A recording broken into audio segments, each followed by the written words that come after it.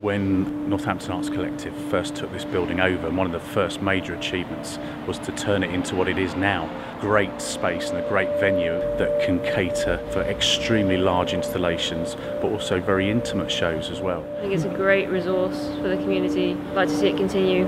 Just really help the arts in Northampton blossom. From the fish market being here, it's brought everyone together and made it a bit more visible.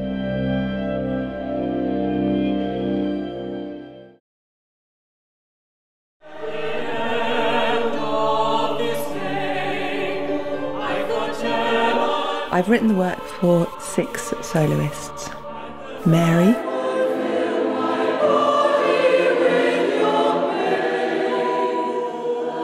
Jesus,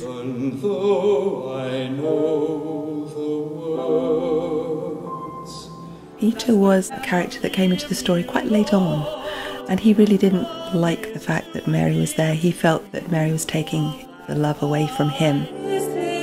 Susanna and Martha are two of the other women that would have been travelling with Jesus.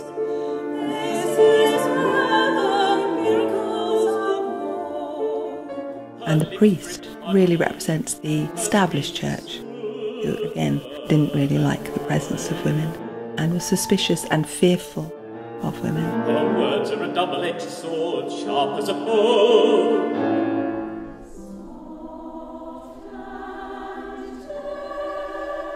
I would like this work to be heard in magnificent spaces.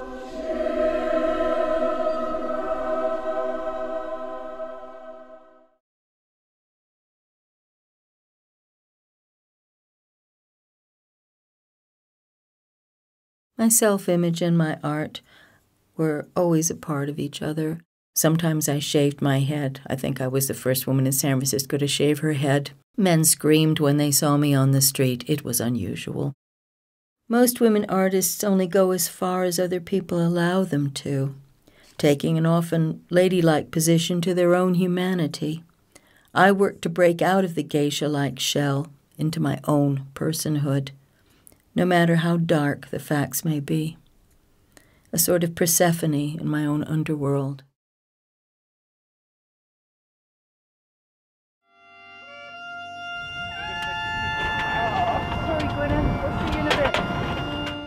Well, we're building the Dark Knight out of flammable wood. This wooden shell will burn away and the dragon will be revealed inside.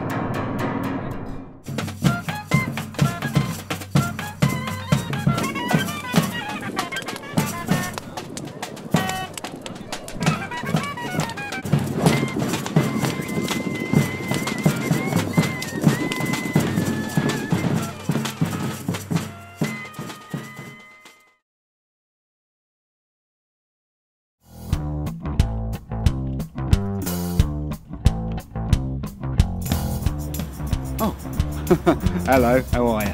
Uh, I suppose you want to come in, don't you? Afraid not.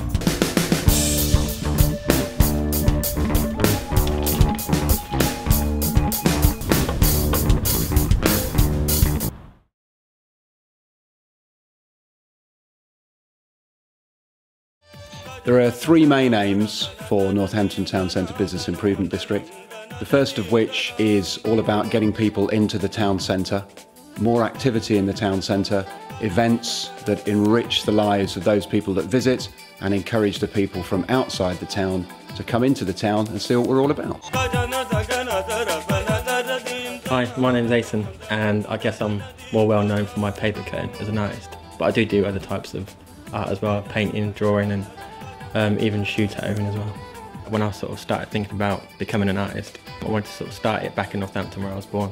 Discover Northampton campaign, yeah, will benefit me as an artist. It's great exposure and with all the people involved and the shops involved. I'm Sheila Kerwin, the podiatrist at Langham Place Foot Clinic. I'd like to tell you a little bit about what we do here. I'd like to tell you what a podiatrist is, what sort of patients would normally come and see us, and how you can actually make an appointment to see us. A podiatrist is the new name for a chiropodist, and we specialise in conditions of the foot, leg, and ankle. So if you just walk up and down on the spot for a moment. Diabetics They need to come and see us on a more regular basis due to the fact that sometimes they can have issues with their circulation and sensation. That's a, that's a nice strong pulse there, that's good. Many children come to see us with the usual problems like ingrowing toenails and verrucas, but we also see children who have pain in their feet or maybe just excessive shoe wear that is causing concern.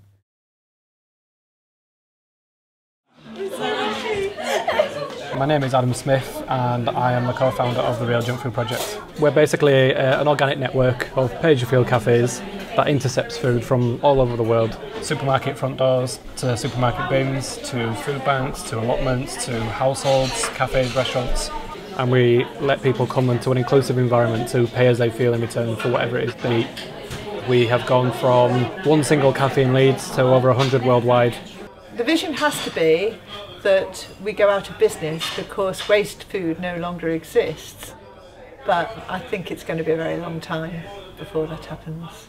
Expose the amount of food that is wasted from every source of the chain and then literally feed the world.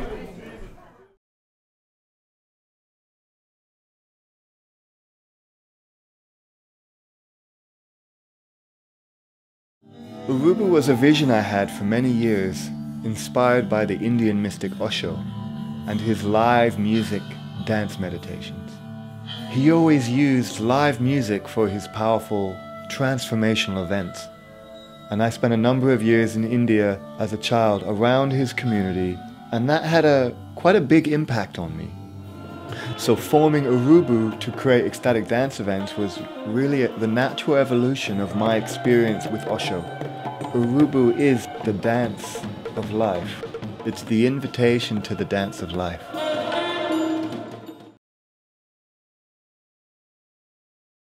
Completely balmy how we're going to transport a six metre tall Lady Godiva to London using bicycles.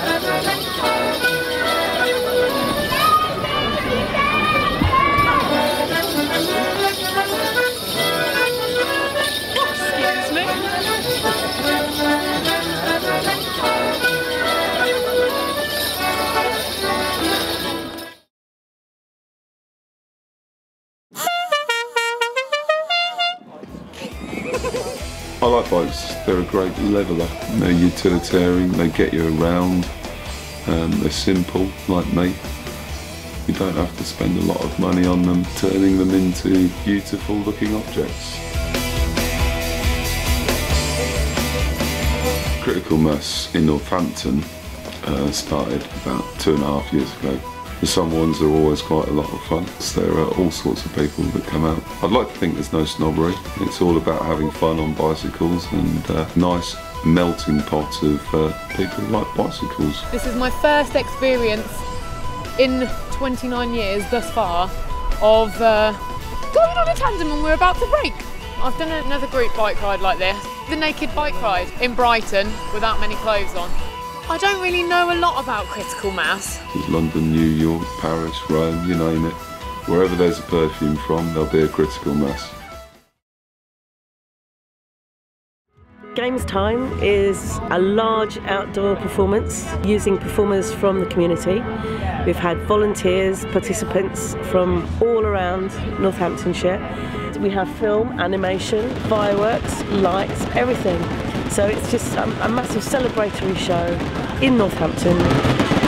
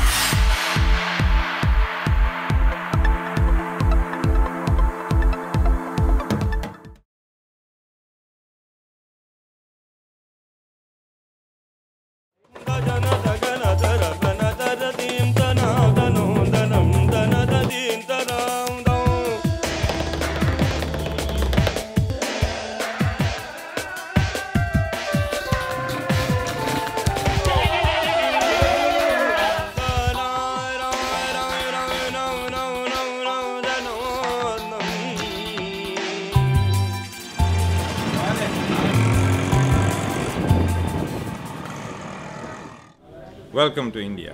You may be seeing me dress up like Mahatma Gandhi, but uh, this is his territory actually. We are in Gujarat. This is my part of my tradition to follow, uh, and I'm very proud to do that.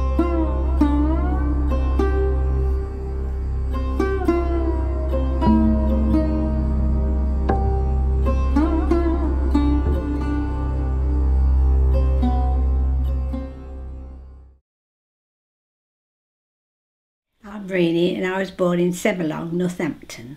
Very hard. We didn't have much money. I left school when I was 14. I went into a shoe factory. Didn't like it, mind you. Hated it, but it was a job. Used to go to the dances on the camps. Well, I had a whale of a time. I was engaged three times. Once to an American, but I couldn't go to America because I couldn't leave my mum. So that bro- got broken off, and that's when I went back with Harry. He was billeted like near the pub, December 23rd, 1950. That was at St Sepulchre's Church, that was. Gosh, 61 years. Didn't think I'd last that long. I've got some fond memories, nice ones as well. some sad, but some very nice. I like my Guinness. Have my Guinness every night. My favourite pastime is dancing, which I've always loved since I was knee high, really. And uh, I'm still doing it. The sequence, and I like the ballroom. As good as the Guinness.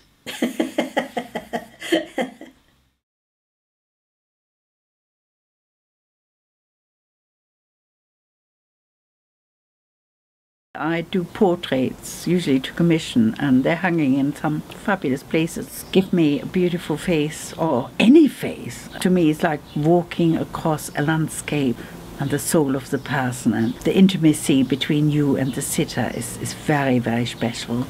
And I really, really love it. Oil paintings take about 12 sittings. The Dalai Lama took four hours, and the stuff he said was just so special. I was floating in every way.